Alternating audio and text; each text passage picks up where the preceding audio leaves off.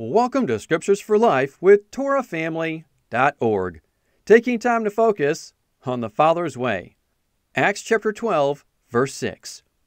The night before Herod was to bring him to trial, Peter was sleeping between two soldiers, bound with two chains, and sentries stood guard at the entrance. This was no small time for Peter. Herod just had James, the brother of John, murdered. What a devastating time for Peter and all the believers at this time. And since James's death pleased the Jews, Herod is now about to put Peter on trial.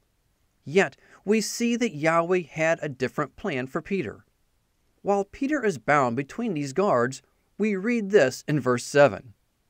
Suddenly, an angel of the Lord appeared, and a light shone in the cell. He struck Peter on the side and woke him up. Quick, Get up, he said, and the chains fell off Peter's wrists. This is definitely a scene that belongs in the movies, doesn't it? The point is this you may be in a time where it just seems there is truly no way out. But remember, Yahweh is in charge. He is always in charge. Whether we are to be killed like James or spared like Peter, may we always be faithful to Yahweh. He is always in charge. Let this be a focus in your time of meditation throughout the day.